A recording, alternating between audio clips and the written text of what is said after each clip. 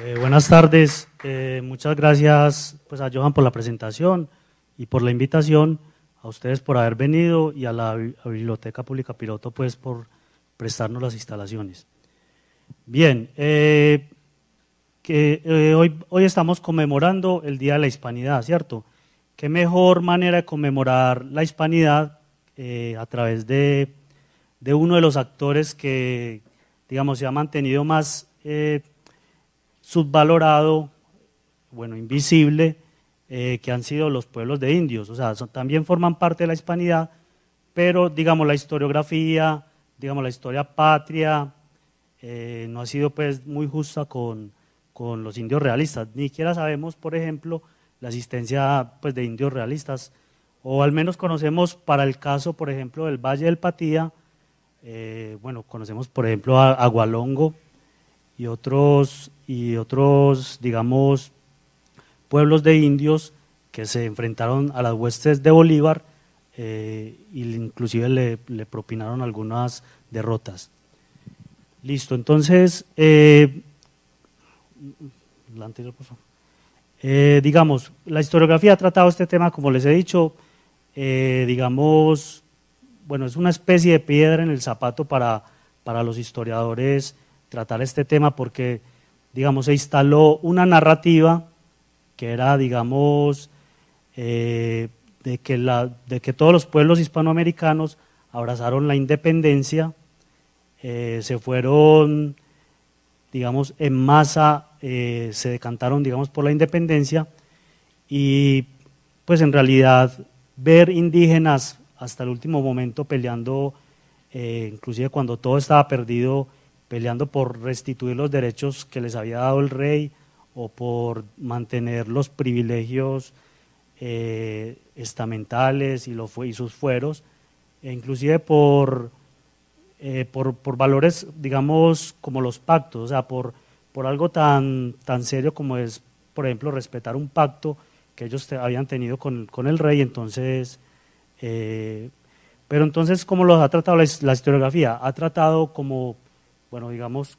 pues, eh, o sea, como si fueran tontos, por decirlo de, alguna forma, como si fueran engañados por algunos españoles, por los corregidores, por los, eh,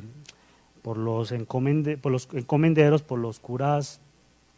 eh, de, las, de los resguardos, para que dieran su vida por, para defender los privilegios. Es decir, vamos a ver qué se va digamos, a, achacar el, realismo de los indígenas a un, bueno, que eran pueblos atrasados, tradicionalistas, eh, sin educación, o sea, que eran, eh, digamos, cortos para entender en realidad lo que era la libertad. Vamos a ver más adelante, bueno, por ejemplo, en el, en el caso de, por ejemplo, Santa Marta y Riohacha, donde los indígenas lucharon con gran pugnacidad, vemos que, los tratan como si los españoles los hubieran engañado para que siguiera, continuaran defendiendo el rey. Eh, bien, hay otras visiones más, digamos, eh, más realistas, más, digamos, equilibradas, que nos muestran, por ejemplo, quiénes eran los independentistas, quiénes eran y quiénes eran los realistas. les voy a leer una cita de Jaime Sierra, Sierra García. Esto muestra cómo los dirigentes de la independencia surgieron de un grupo bien definido, social bien definido, compuestos por las principales familias criollas de comerciantes, mineros y propietarios, cuyos hijos se habían educado en Bogotá o Popayán, donde se graduaron como abogados o sacerdotes. Como residían ante todo en las áreas urbanas, fueron estas las zonas más adictas al movimiento emancipador, mientras que en las zonas rurales donde predominaban los esclavos dedicados a la minería y los mestizos dedicados al mazamorreo y a la agricultura, así como los escasos indios dedicados a la agricultura, la adhesión a la, casa, a la causa realista fue más frecuente. Es decir, aquí nos está diciendo ya que es un sector minúsculo de la población, eh, es un fenómeno inclusive urbano, el que se, digamos, decanta por la independencia. Y yo, yo añadiría eso eh, de esas élites eh, de comerciantes, mineros y propietarios, va a ser el sector más minúsculo el que realmente va a, pues a, poner, digamos, todo el empeño para, la independencia. Eh, también vale la pena decir que este sector casi siempre está asociado con, contrabandistas, o sea, con, el envío de contrabando hacia las Antillas, por, las, digamos, por el Urabá, que era una especie de zona gris pues, para, el contrabando y el traspaso de mercancías ilícitas. Entonces va a ser una, una élite, digamos, que estaba interesada en mantener tratos comerciales con otras potencias extranjeras, como lo vamos a ver pues más adelante. Bien, eh, vamos a ver lo que la República, o sea, qué, representaba la República Liberal para estos sectores tradicionalistas como los indígenas. Eh, bien, primero era un choque, eh, digamos, abismal contra los intereses de los pueblos de, los indios que como hemos dicho habían sido amparados y protegidos por la corona española. Eh, bueno, más adelante vemos, eh, tenían una legislación especial que eran las leyes de Indias, eh, creadas a partir, digamos, de, los, de los procesos de Burgos de, a principios del siglo XVI, tenían una, toda una legislación especial donde estaba reglamentada aspectos como, por ejemplo, el trabajo, eh, digamos, el es decir, todo lo que hoy nosotros consideramos como, como eh, las, las, ganancias que, que, obtuvimos de las luchas sociales, ya los indígenas para la, pues para la época lo tenían. El descanso semanal, eh, las vacaciones, el trabajo de ocho horas, pues entre otra cantidad de garantías. Bien, también eh, la república significaba la supresión del sistema corporativista y comunal. Es decir, los, indígenas dentro de su marco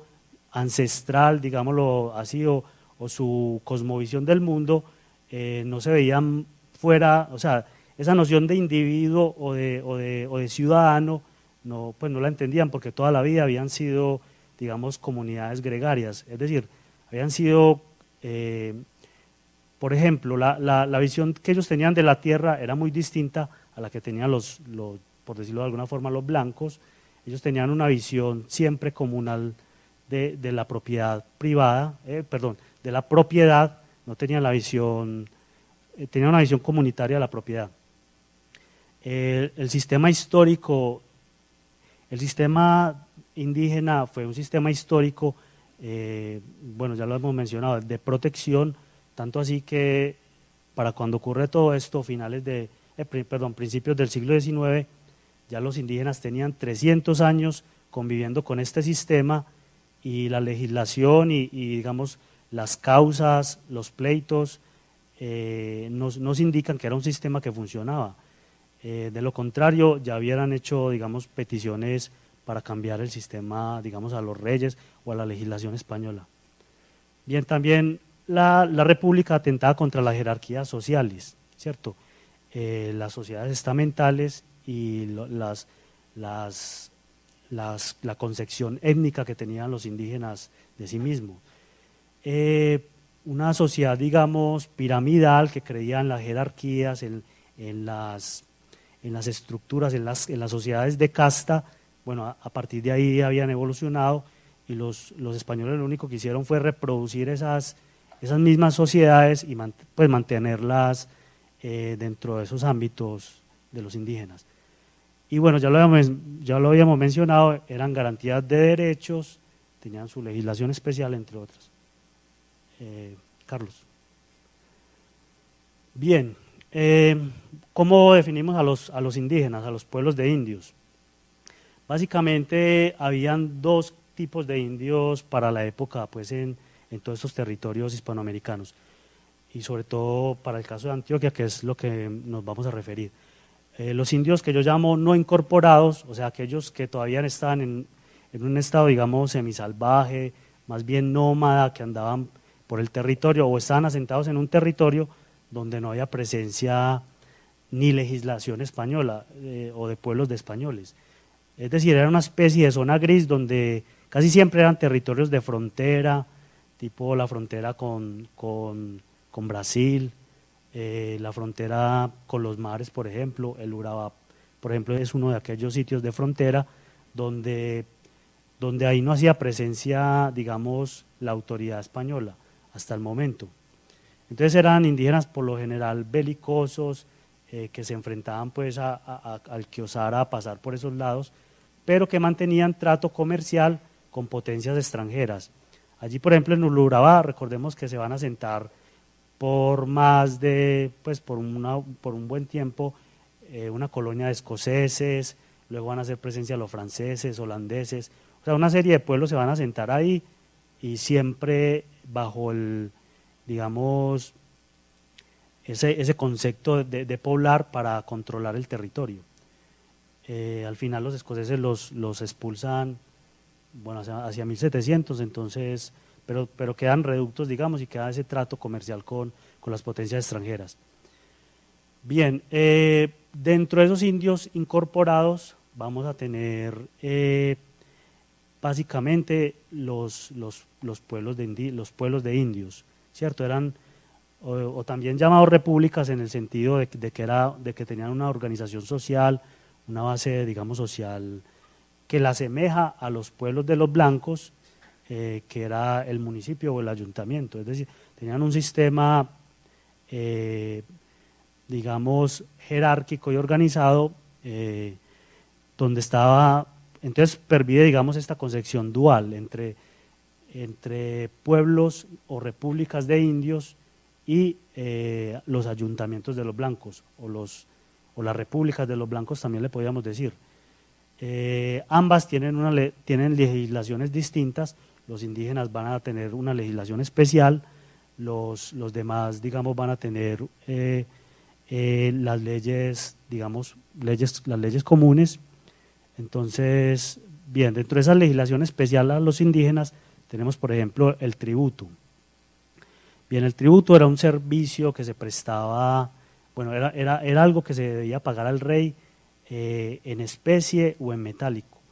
Por ejemplo, existían indígenas de, indígenas de pesca, entonces eh, pagaban, digamos, en, en, lo, que producían en la pesca, pagaban un tributo al rey.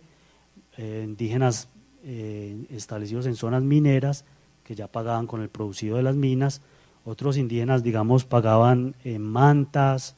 eh, en los obrajes, es decir, con trabajo. O sea, era un, era un tributo eh, que dependía de, la ubicación de cada pueblo, de, la economía de cada pueblo y de lo que ellos pudieran tributar. No era demasiado excesivo eh, y, como le digo, era garantista, o sea, garantizaba derechos, digamos, laborales para el momento. Bien, en estas repúblicas de indios las autoridades van a ser el gobernador de indios, el alcalde de indios y los alguaciles, que eran los similares a la República de los Blancos, eh, a los ayuntamientos como los alcaldes y los regidores, bueno, con la condición de que los alcaldes, por ejemplo, podían impartir justicia, mientras que los indígenas podían impartir la justicia local, pero para relacionarse con la justicia, digamos, de los españoles, tenían que tener otras personas, que en este caso son los agregados como el cura doctrinero, el protector de indios y el corregidor de indios. Bien, el cura doctrinero es el encargado del cuidado, de la evangelización, eh, de la educación, de la atención, del vestido, es decir, de proveerle a los indígenas eh, todo cuanto, cuanto a su bienestar espiritual y material. Por su parte, el corregidor de indios es precisamente la persona eh, que se encarga de representarlos ante, eh, pues ante la legislación de los, de los españoles en los pleitos o juicios y también procura por su bienestar, evangelización y seguridad. Es decir, que no hayan una queja, por ejemplo, del cura doctrinero que esté cometiendo algún abuso o, por ejemplo, que un blanco eh, se apropie de un terreno que pertenecía, digamos, a la comunidad. Entonces, para eso estaban estos individuos. El protector de naturales es una especie de procurador, ¿cierto? También es un funcionario público destinado también a preservar y defender los derechos y fueros de las comunidades indígenas. Bien, entonces miremos esta, digamos, este, este sistema de este sistema de gobierno eh, garantista que ellos tenían versus el sistema que, les, pues, que representaba la República. Eh, primero que todo era un cambio incierto, es decir, ellos habían tenido más de 300 años eh, siendo españoles, o sea, siendo gobernados como unos de los pueblos españoles, y entonces ya venía la República con amenazas de abolir los resguardos, los cabildos, los pueblos de indios, suprimir los tributos, y es decir, cambiar, cambiar toda todo la mentalidad que ellos habían tenido, digamos, hasta el momento. También vienen las nociones abstractas y, y, un poco antitradicionales, como las nociones de igualdad, ciudadanía, todas esas nociones que trae la modernidad que muchos no entendían, o sea, muchos, eh, bueno, no sabían, o sea, no tenían tiempo, digamos, para pensar en estos temas, sino que el, bueno, ni siquiera los, los, los campesinos o los, o los, sectores que llamamos populares, porque lo que les interesa, digamos, es producir, bueno, un, eh, producir el campo, un zapatero le interesará pues vender sus zapatos, es decir, no, no, no esos, esas, estos, eh, estas atribuciones abstractas eh, van a calar en un sector minoritario de la población, aquel digamos que, que había estudiado, por ejemplo, y que podía comprender todos estos conceptos de filosofías modernas eh, y de la ilustración. Bien, también por primera vez, o por lo menos en la provincia de Antioquia, los, los, los indios fueron sometidos al servicio militar. Es decir, ellos nunca habían prestado, eh, nunca habían sido reclutados para el, pues, para el servicio del rey. Eh, bueno, de pronto en el siglo XVI sí contribuyeron militarmente a hacer precisamente otras campañas contra otros indígenas, eh, digamos, no incorporados, pero para el siglo XIX, o sea, ellos, para ellos el, el, servicio militar era algo novedoso y eh, pues eh, novedoso negativamente. Bien, también debían de contribuir pues según la tropa, según los grupos que llegaran pues a, a, ese, a resguardo de ese pueblo de indios, eh, con alimentos, ropa, alojamiento y hombres. Listo, entonces tenemos, vamos, vamos a comparar lo que significaba la república versus lo que significaba la monarquía. La república, hay tres palabras que yo pues, pues escogí, revolucionarios, antimonárquicos y anticlericales, pues porque aunque bien no, no fue un anticlericalismo del tipo francés que se instaló aquí con la revolución, sí, digamos, ese siempre ha sido uno de los, de los objetivos de, del liberalismo, eh, la separación de la iglesia, del Estado, pues, y, y, la supresión, digamos, de lo que ellos llaman superstición y, otras, y todas estas cosas que habían sido arraigadas en los pueblos. Es decir, aquí hay un tema de, raigambre, de, un tema que ya estaba dentro de los pueblos y de repente había pues que cambiar como el chip. Entonces, versus una monarquía que era paternalista, protectora, pactista, o sea, que siempre estaba negociando con pactos. Entonces, eh, no es raro, o sea, como afirman algunos autores que los indios eran tontos, en realidad lo que estaban era garantizando sus derechos y sus, eh, y sus privilegios. Eh, Carlos. Bien, eh, entonces rápidamente vamos a ver indígenas insertos en los ejércitos defendiendo al rey contra la Primera República. Esto sucede, por ejemplo, cuando el virrey La Serna, en la Primera República, ya había un ejército que nos habla pues de 12.600 hombres, de los cuales 600 eran españoles y criollos, o sea, no solo españoles nacidos en la península, sino que también bueno, habían nacido, digamos, en Cuba y, estaban prestando, estaban eh, insertos o enrolados en el servicio militar, entonces los, los mandaban, digamos, a distintas misiones. Entonces, bueno, el resto eran indígenas, negros y mestizos. Eh, eh, bien, ahora vamos a categorizar estos pueblos de indios. En Antioquia no, no vamos a ver estas batallas tan espectaculares que nos, que nos cuentan, por ejemplo, de los indios del Valle del Patía, de los indios de Río Hacha, de Santa Marta, del, del delta del Magdalena, sino que vamos a ver pequeños pueblos de indios y, o sea, geográficamente esparcidos eh, por todo el territorio eh, a unas distancias enormes, por ejemplo, Urídica de Urrao, por ejemplo, o de la Estrella, Sopetrán de, de, de, la Estrella, o del Peñol, es decir, estaban repartidos y en pequeñas comunidades, entonces no, no había un foco, digamos, un foco de, indígenas, como si lo había en el Valle del Patía, por ejemplo, o en Pasto, o en los alrededores de Pasto, para, por ejemplo, dar resistencia eh, militar a, los, a los ejércitos independentistas. Entonces, eh, aquí nos dice más o menos la población que tenía. Sabana Larga tenía, por ejemplo, 820 indígenas, eh, de los cuales tributarios o, indígenas en condiciones de prestar el servicio militar entre los 18 y 45 años, eh, yo calculo 200 o, 150, bueno, y que sean solteros, entonces ahí sí se, se reduce el número. Entonces vemos eh, pequeños pueblos dispersos. Bueno, por otro lado, habían indios no incorporados, pues los, los que hemos llamado,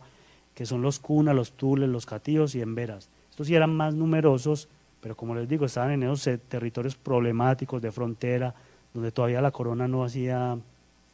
no había hecho presencia por, pues por 300, casi por 300 años. Eh, bien, entonces vamos a ver qué, qué pasó con, con la República. Eh, bueno, eh, esto inicialmente eh, ocurre cuando los franceses invaden la península, secuestran al rey y lo obligan a abdicar en, favor de, bueno, de lo que los españoles llamaban un usurpador. Entonces, esto lo que hace es provocar en, tanto en la península como en América en los pueblos que no estaban aún bajo el dominio francés, un, un sentimiento, digamos, de rechazo, de temor, de incertidumbre. Entonces, lo que, o sea, esos pueblos que no estaban todavía bajo el dominio francés, lo primero que hacen es organizarse en juntas, ¿cierto? Entonces crean unas juntas, eh, las juntas, las primeras se crean en Cádiz, eh, y, eh, perdón, en Sevilla, y luego son traspasadas a, América. O sea, los americanos finalmente van a hacer lo mismo que, habían hecho los españoles ante esta crisis, ante, ante, ante esta falta de gobierno, ante, ante la pérdida de soberanía. Entonces, eh, lo, lo, que, bueno, se van a crear, eh, por ejemplo, en el caso de Nueva Granada, va a ser una, una, toda una eclosión de soberanías, van a aparecer alrededor de de 10, de pues fácilmente 10 repúblicas, eh, todas eh, van a redactar constituciones, es decir, se, consideran pueblos con históricos con derecho a constituirse. No, es, es, importante, por ejemplo, recalcar que no, no fue el centro del poder virreinal el que se constituye y luego eh, constituya todo el territorio, sino que cada territorio se, se constituye a sí mismo eh, eso puede tener una explicación, por ejemplo, en que, en que el virreinato es una entidad más o menos fluctuante, nueva, que aparece, digamos, en 1723. Por ejemplo, el virreinato del Río de la Plata aparece por allá en el 70 y algo. Entonces, digamos, es, es una entidad reciente, ¿cierto? Eh, eh, la entidad mayor va a recaer sobre las gobernaciones. Va a ser la gobernación la que la que va a dar, digamos, esa personalidad histórica y, la gobernación, la ciudad capital y, sus jurisdicciones, la que va a dar esa personalidad. Entonces, bajo ese argumento, la provincia de Antioquia eh, se reúne en junio de 1811 y, decreta el, el, Estado soberano de Antioquia y realiza un reglamento de constitución provincial. Es decir, si antes el rey era el que mantenía la soberanía, una vez se pierde el rey, se pierde la soberanía, eh, la noción era que la soberanía recaía sobre el pueblo, entonces el pueblo tenía que pactar lo que, bueno, al no haber rey tenía que hacer unos pactos, esos eran las constituciones, las cartas, eh, las cartas legislativas y todo esto. Bueno, se dicen provisionales porque no saben en qué momento va a llegar el rey, entonces por eso son provisionales, eh, esperando aún la, llegada de Fernando VII, o sea que todavía juran lealtad o todavía son adeptas a Fernando VII. Miremos que para, para mediados de 1811 ya Caracas había logrado promulgar la independencia absoluta de España. Eh, y para diciembre de 1811 lo había hecho Cartagena. Entonces, en Antioquia apenas estábamos haciendo constituciones, pero todavía garantes de los derechos de Fernando VII. Listo, entonces, como, vemos, las Cortes de Cádiz eh, empiezan a hacer unos decretos muy liberales, por ejemplo, ellos son los que van a hacer el primer decreto del 13 de marzo de 1811, 11, donde exoneran a los indígenas de tributos. Listo. Entonces, las, las, los, las, los estados eh, americanos van a hacer exactamente lo mismo. O sea, ya en Cádiz decretaron la libertad de tributos, vamos a hacer nosotros más o menos lo mismo.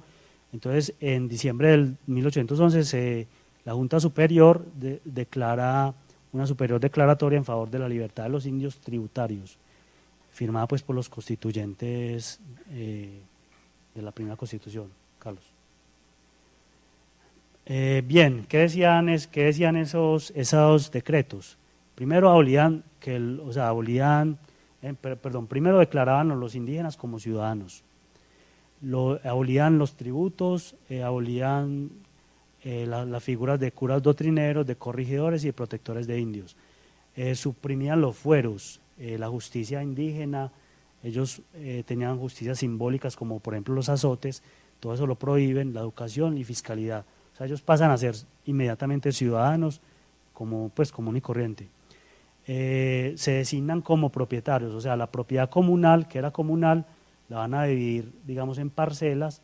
a cada uno le va a tocar algo y entonces eh, le van a entregar esto, eh, con la condición de no enajelarla en ocho años, dicen los documentos, hasta que aprendan a, pues a valorarla, o sea, a tener el mismo valor que para los blancos tenía la tierra. O sea, no vaya a ser que en una borrachera eh, la vendan o, pues la cambien por, algo o la permuten, ¿cierto? Eh, libertad de casarse. Eh, cuando hablan libertad de casarse, es decir, de contraer matrimonios ya, o sea, por muchos años habían mantenido, digamos, su, su, sistema de castas, casándose entre ellos, ahora podía mantener, pues, mantener matrimonios interraciales con, con otros grupos étnicos eh, y podían tener movilidad, ya no tenían que estar en el resguardo, sino que podían moverse y escoger una profesión. Bien, se les impuso un sistema, pues las, las escuelas, el servicio militar se les impuso eh, entre 18 y 45 años, eh, se, se, le, se les exoneraron de algunos impuestos que pagaban, algunos tributos que pagaban a la iglesia, la fiesta, las procesiones, los octavarios, los aguinaldos y los funerales, y, pero se les cargaron con otros también de la iglesia como los casamientos, entierros y los impuestos a la cuota, eh, de cuota anual y primicias y novenos. Bien, entonces el edicto fue promulgado y fue enviado a, todos los pueblos de indios eh, que para la época habían, pues, principalmente estos, estos pocos pueblos de indios fueron los que recibieron los primeros edictos. Eh, y bueno, ¿qué creen que respondieron los indígenas cuando les llega el edicto de la República de que ya eran libres y de que ya eran eh, eh, ciudadanos, republicanos y, iban a ser felices y prósperos. Eh, la respuesta vamos a... Bien, vamos a ver qué dicen los indios de Buriticá. Los naturales del pueblo de Buriticá ante vuestro Señor, con el debido respeto, parecemos diciendo que resultándonos en nuestro concepto un gravamen con la libertad que se nos ha declarado, suplicamos a vuestro Señor que con el mayor rendimiento sea elevada la acción de libertad y se nos deje en nuestro antiguo estado de indios, pues en él ofrecemos ejercer todas las funciones de ciudadanos y patriotas, no rehusando ninguna expedición que se proyecte, pues para ser útiles en este caso nos prestamos voluntariamente a sufrir la disciplina militar. Para su instrucción pedimos, pedimos a un cabo, en realidad debe decir a un cabo, que se nos enseñe el manejo de armas. Es decir, que vemos en un tono un poco sarcástico, o sea, que los indios no quieren ser libres, eh, que muchas gracias no quieren, no quieren ser libres, quieren seguir como estaban, que para que no se preste eh, confusiones o para que no los tenga como enemigos de, de, la República, que ellos están dispuestos a prestar el servicio militar y, que, y prestarle servicio a la República, pero que por favor los deje siendo eh, todavía indios. Carlos. Bueno, es, esto van a, van, a, van a responder los indígenas del Peñol siendo constante la miseria y pobreza de todos los naturales y que si apenas pueden pagar el tributo de su majestad, menos podían cumplir con los derechos que se nos condena. Es decir, si, si apenas podían pagarle los tributos al rey, ahora pues la, o sea, la, República los cargaba con nuevos impuestos, entonces eh, ya se consideran pues que estaban ya en mucha miseria y pobreza para aceptarlo. Luego van a decir, nos hallamos muy gozosos sin que la ambición o vanagloria de ser ciudadanos nos tire y persuada a gozar del concedido indulto y libertad. Es decir, eso de ciudadano le suena como, como, como, pues, como ser ambicioso, como tener que competir, digamos, eh, por, por, antes ellos no tenían que competir por, los, por lo que ellos gozaban, de lo que ellos gozaban, Luego dicen, por todo lo cual y con nuestro acostumbrado rendimiento ocurrimos a la paternal benignidad de vuestro Señor, como Padre este desvalido pueblo, para que interponiendo su valimiento y representando la soberanía nuestra, nuestra miseria, se digne revocar la sanción de libertad para continuar en el antiguo estado de indios, que mediante su representación y mucha caridad, con que siempre nos ha, nos ha protegido, esperamos conseguir la revocatoria de libertad. Es decir, es una queja de que ellos siempre los habían protegido y ahora los declaran libres, pues que era un peligro ser libre. Bien, eh, les, ¿cuál es la respuesta de la República? Eh, no les estamos consultando, eh, simplemente le estamos mandando el edicto que ordena que, que todos ustedes sean libres y, sean ciudadanos. Entonces los, los indígenas digamos, va a haber, va a haber algo que yo llamo la rebelión simbólica, o sea, una rebelión, digamos, desde adentro, o sea, que no se manifiesta beligerantemente, sino que más bien consiste, por ejemplo, en no cooperar, en, actuar, digamos, con pereza, con desdén, por eso la fama, digamos, de los indígenas de, borrachos, de, perezosos, de que no trabajan. Entonces, es más, más bien una, una especie de resistencia simbólica ante todos estos atropellos. Entonces, por ejemplo, un caso de estos eh, sucedió en la ciudad de Marinilla, donde la Junta Provincial de Seguridad y Vigilancia de Antioquia eh, hizo un sumario o una causa contra el indígena Juan de Dios Sánchez por haber vertido sugerencias sugestivas contra el gobierno. ¿Qué sucedió? Sucedió que en una, de, las, fiestas patronales, pues de la, casi siempre de las vírgenes patronales, eh, estaba muy borracho y entonces empezó a decir que la república no servía para nada, que, era un desastre, pues eh, eh, empezó a aflorar, digamos, esos sentimientos que tenían los indígenas. Bien, un caso similar sucedió con el indígena José Vicente Sixo. No estaban dispuestos a llorar la pérdida de su antiguo estado, el que tenía con el rey, en el cual fue la divina providencia servido ponerlos en esta humilde esfera en la cual nos hallamos muy gozosos sin que la ambición y vanagloria de ser ciudadanos nos tire y persuada a gozar del contenido indulto y libertad, sin la cual en lo pasado hemos pedido con nuestro trabajo a los aumentos de la patria, y en lo sucesivo cumpliremos con nuestro estado antiguo, como leales vasallos de nuestro soberano, estaba hablando el rey, rindiendo en su defensa, si es necesario fuera en nuestra vida, bajo de disciplina militar. Eh, listo, entonces eh, la Primera República es corta. en, 1816 ya ingresan las tropas de Guarleta y vuelven a restaurar la monarquía. Eh, entonces, inmediatamente se acercan los indios, por ejemplo los de Uriticá, y van a jurar, digamos, la obediencia otra vez al rey de España y van a poner todas las quejas, digamos, que, de que habían sido sometidos durante el gobierno, pues van a haber muchos calificativos, nefasto, injurioso, eh, oprobioso, pues una serie de calificativos muy, muy chistosos también. Bien, entonces esto van a decir los indígenas de Buriticá. Este, así como los demás privilegios nuestros, fueron violados y se nos obligó a obedecer órdenes contrarias a los sentimientos que nos animaban. Ya calmó aquella tempestad y ya hemos visto cumplidos los ardientes deseos de mirar, de mirarnos otra vez bajo el mando de nuestro adorado Fernando VII. Eh, es decir, eh, van, a, van a contar que ellos tuvieron que aceptar forzosamente la República. O sea, fueron obligados a aceptar la República y ahora están gustosos de, volver a Fernando, al, rey Fernando VII.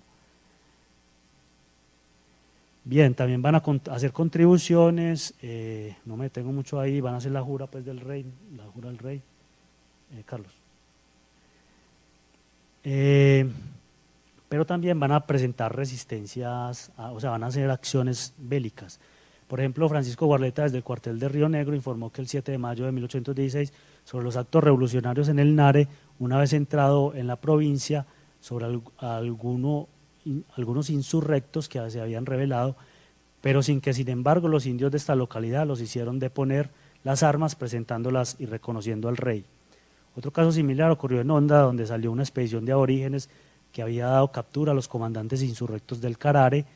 Guarleta comunicó desde abril el exceso de amor al rey que fue declarado por los habitantes del Nare, siendo una minoría al menos 10 quienes habían conspirado. Bien, eh, hacia el del Valle del Patía van a, venir muchos hacia Antioquia, como Simón Muñoz, era un guerrillero patiano eh, que llegó al cargo de teniente de coronel. Eh, va a operar en Antioquia, entre Arcema y en Antioquia, interceptando la comunicación, interceptando los grupos, digamos, de revolucionarios que, hacían presencia en la zona. No me tengo pues mucho en eso. Eh, bien, en Río Hacha van a ser, como les digo, las acciones más espectaculares porque va a ser mayor el número en el Río Hacha, la Guajira, en Santa Marta, van a ser mayores los números de indígenas que van a luchar y propinar duras, duras eh, combates a los, a los independentistas. Eh, por eso van a ganar muy mala fama y van a ser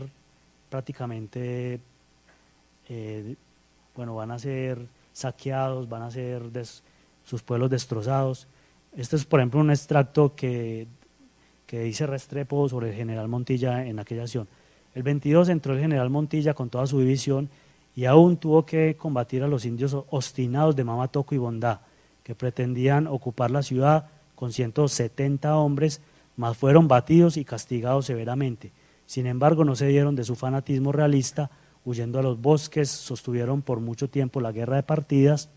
Fue necesario matar a unos y coger a otros para conducirlos a Panamá y al Perú, obra lenta del tiempo y, de muchas fatigas. Casi todos los pueblos estaban minados y seducidos sus moradores, que por lo general eran realistas y enemigos de la independencia. Eh, pasemos. Lo, lo, que pasó, digamos, en el Valle del Patía, lo recojo del, del general Olerli, quien decía que no es que fueran tan feroces como se ha dicho, sino que más bien era el pues lo asocia a otros factores como por ejemplo el clima, eh, bueno, dice que eran prácticamente unos degenerados, viciosos, que, eran, que hacían la rapiña, y uno, o sea, todo el estrato eh, son injurias contra ellos. El distrito de Patía, que debía atravesar el ejército, tiene la maldición de poseer uno de los climas más mortíferos del mundo, con un suelo desapacible y estéril, y con habitantes cuya ferocidad corre pareja en aquella espantosa región, morada de cuanto destructor encierra la naturaleza, las fiebres, las pestes y las langostas brotan del suelo, más por su amor a la rapiña y al crimen que por odio a una causa, la causa de ellos, que eran incapaces de comprender, había abrazado el Partido Realista desde los principios de la Revolución, tan solo porque a su sombra podían ellos entregarse a mansalva a las depravaciones, de, perdón, depredaciones, siguiendo sus instintos perversos y malos hábitos. Bien, para terminar, eh, eh, una frase, un extracto donde narra, o sea, lo que pasó en estas poblaciones. Una vez controlado Antioquia, eh, los ejércitos marchan hacia Cartagena y luego hacia Pasto. Eh, Antioquia, digamos, es el cordón que se rompe eh, entre, entre, digamos, las provisiones que vienen del, del Caribe, por Cuba, por la misma península, y el corazón del imperio, que es el Perú, y Quito y Popayán. Entonces, lo que hacen es partir por Antioquia y luego regarse hacia el, hacia el norte y luego hacia el sur. Los ejércitos rebeldes avanzaron primero sobre Cartagena y Santa Marta, siendo esta última donde encontraron mayor resistencia por parte de las guerrillas realistas indias, que prosperaron casi hasta mediados de la década.